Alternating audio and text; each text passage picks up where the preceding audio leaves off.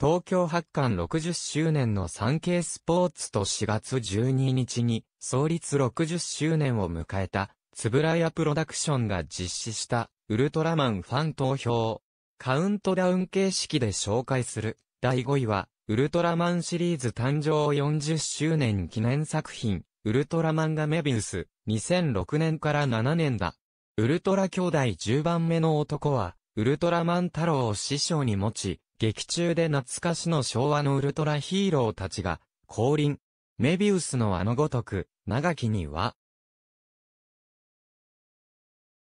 足り続くシリーズの魅力を無限大に体現した。M78 星雲や L77 星出身の光の巨人たちが大集結。昭和の歴代ウルトラヒーローが次々と登場する胸熱な展開に、平成の子供たちだけでなく、昭和のちびっ子だった大人たちも夢中になった。ウルトラマンシリーズ誕生40周年記念として制作されたウルトラマンメビウスはウルトラ Q、1966年からウルトラマン80、80から81年までの昭和ウルトラシリーズの続編。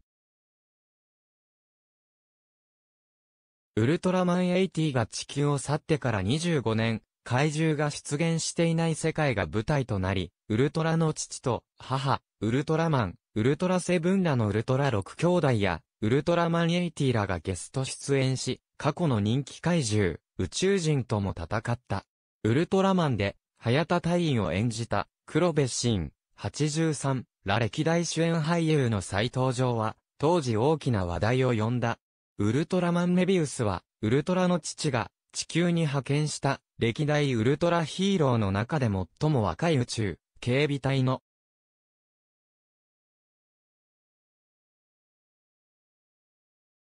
ルーキーでウルトラマン太郎の愛弟子変身する。主人公の日々の未来は元俳優の五十嵐駿さん36が演じた。対怪獣防衛チームの実動部隊の実戦部隊クルーガイズに加入し外見年齢は18歳。チームの仲間たちから友情を学び、未熟な若者からたくましい戦士に成長していく姿は学園ドラマのような爽やかさもあった。歴代作品の設定や登場人物を丁寧に取り入れつつ、中盤で周囲に自分の正体を知られてしまう初の展開など平ら。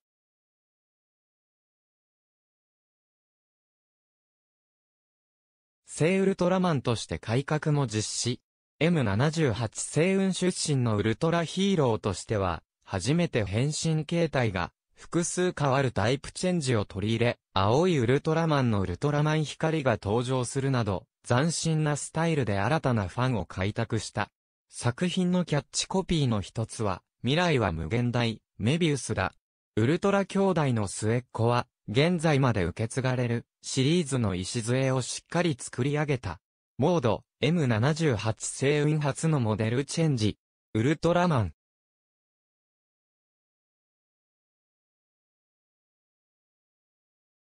メビウスは通常モード以外のタイプチェンジも話題になった。ウルトラマン光から託されたナイトブレスとメビウスブレスのコンビネーションによる強化形態、メビウスブレーブや人間の仲間たちとの熱球状をエネルギーに変えたメビウスバーニングブレーブ、メビウスと光、仲間たちが一体化して誕生したメビウスフェニックスブレイブなどが存在。さらに、ウルトラ6兄弟と奇跡の合体を果たしたメビウスインフィニティでもファンを大感激させた。